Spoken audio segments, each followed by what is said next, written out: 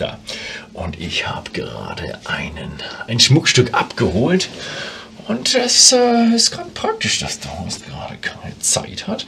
Denn normalerweise ist Bowmore eine seiner Brennereien, wo er die Videos macht. Aber heute, hm, ja, bin ich dran, komischerweise. Gut, musste ich ein bisschen Auto fahren, das war aber auch nicht weiter schlimm.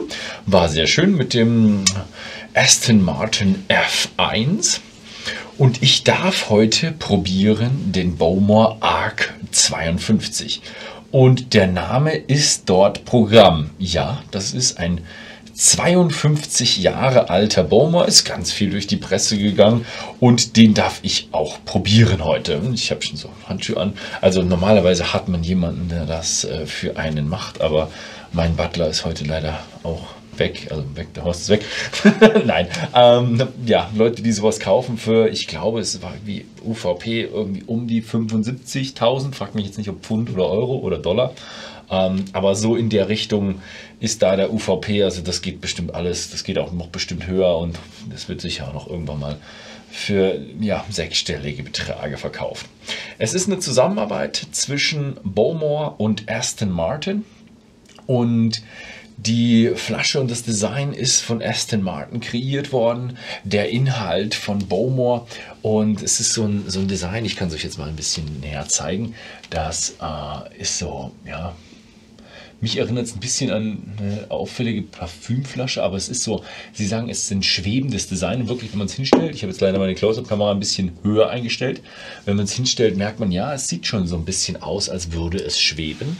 Also eine wahnsinnig, äh, ja, wirklich funky Form. Also allein diese Form hat schon was. Das ist eine handgeblasene oder mundgeblasene, nicht handgeblasen, eine mundgeblasene Karaffe. Und ach, die haben auch noch so einen tollen Mechanismus drin. Also die, ja, die Mechanik von Aston Martin. Man geht mit diesem ja, Magneten hier vorne drauf, macht Klick und dann ist der Deckel offen und dann kommt man daran.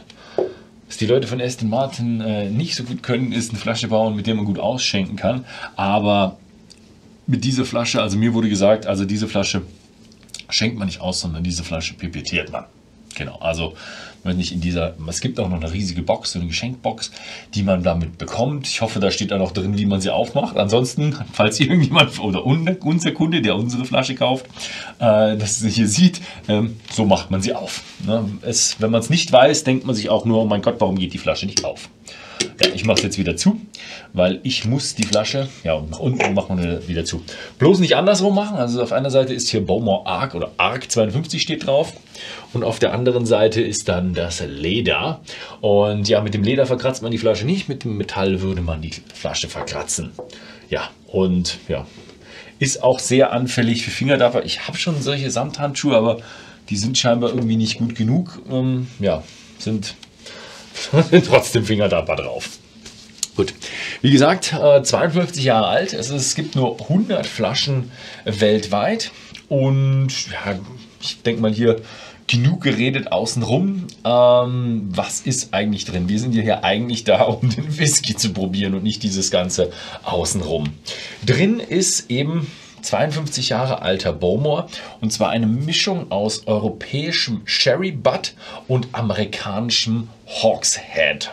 Ja, kennt man so von, von Bowmore. Sie haben gesagt, ja, hm, schön ausgewählt und so, muss ich sagen, hm, okay. Also da hat es der Master Blender dann schon ein bisschen schwierig, weil ich glaube, die Auswahl ist nicht mehr so groß, wenn man, wenn Bowmore sagt, hey, wir wollen einen 52-Jährigen rausbringen. Wobei ich eher glaube, die Zahl 52 ist schätze ich mal, später entstanden. Man hat sich einfach gesagt, okay, wie können wir hier ein möglichst gut schmeckendes Ding zusammenmischen und hat dann gemerkt, okay, und das Größte, was wir draufschreiben können, ist 52. Bei solchen Special-Abfüllungen ist sowas nicht unüblich. Ja, ich darf gar nichts rauspipettieren, das wurde mir verboten. Äh, das geht dann auf den nächsten Event, aber mir wurde ein Sample gegeben. Ich durfte aber gestern schon aus der Flasche, nicht gestern, vorgestern aus der Flasche schon etwas probieren.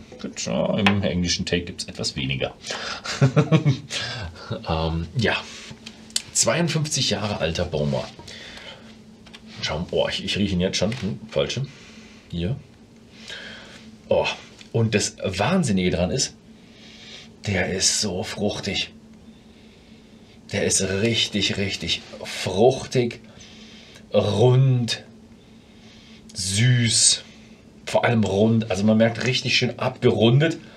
Und was mir auffällt ist, doch heute schon, vorgestern war, hatte ich keinen Rauch drin. Heute habe ich so einen Hauch von Rauch drin. Aber wirklich so, so ganz kleine Nuancen. Dieses Kompott, fruchtig, rund, weich und vor allem, ja, also vor allem dieses, also ich weiß nicht, wie ich es beschreiben soll, dieses, ihr kennt es von diesen Alten, die einfach so, ja, gut gelagert sind.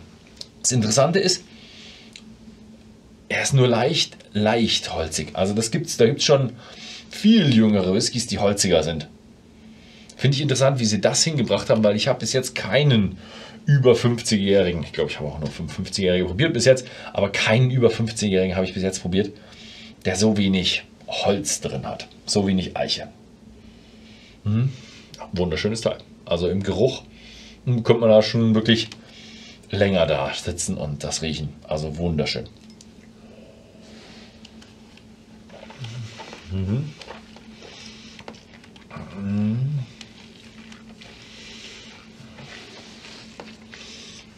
Mhm. Oh, ist immer wieder krass. Mhm.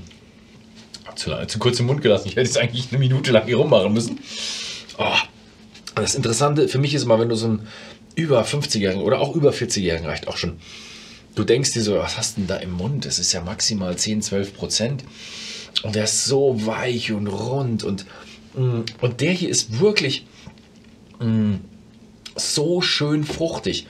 Tropisch fruchtig, Banane, Pfirsich, wow. Also, so ein bisschen jetzt im Abgang hat er schon ein bisschen was, wo man sagt, so, ja, leicht säuerlich. Ja, Clementine, Limette, irgendwo so in der Richtung. Also so einen leicht säuerlichen Ton, aber immer noch wahnsinnig fruchtig. Im Geschmack zum Beispiel jetzt null Rauchigkeit. Ich habe keine Rauchigkeit im Geschmack, wo man sich dann fragt, so, ist das ein Baumer? Haben sie da ein falsches Fass rein? Nein, haben sie nicht. Nach 52 Jahren sind einfach diese Phenole rausoxidiert merkt man auch bei diesen ganzen Isla Whiskys, diese No Age Statement Whiskys, wahnsinnig rauchig. Und dann, wenn es desto älter es wird, desto weniger wird es. Und bei einem 50-Jährigen ist es eigentlich schon vorbei. Was interessant ist, ich habe gestern habe ich während der Präsentation durfte ich einen 18-Jährigen genießen. Nach der Präsentation habe ich natürlich dann noch mal ein bisschen das Wasser, das Wasser vergewalt, äh, nicht äh, ausgetrunken, sagen wir es mal so, äh, damit ich den Mund frei hatte, um das zu genießen zu können jetzt.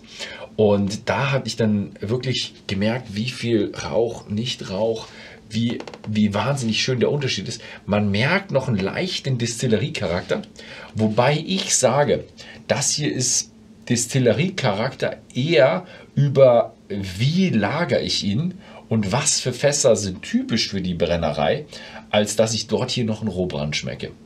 Also es tut mir ein bisschen leid an, an, an die Distiller von Bowmore, aber der Job vor 52 Jahren ist nicht mehr so ausschlaggebend. Es ist einfach, mussten einen guten Rohbrand machen, wenn sie irgendwas richtig Schlechtes gemacht haben, hätten was wahrscheinlich geschmeckt.